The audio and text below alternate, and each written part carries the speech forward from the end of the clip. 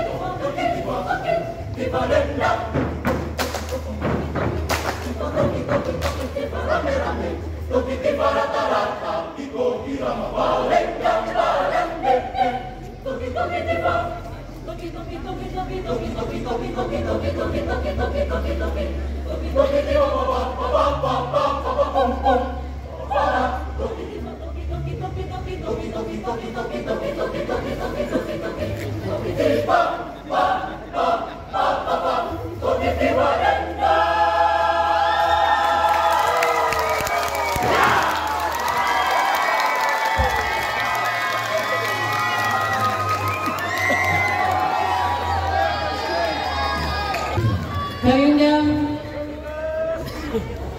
Kepala Dinas Perindah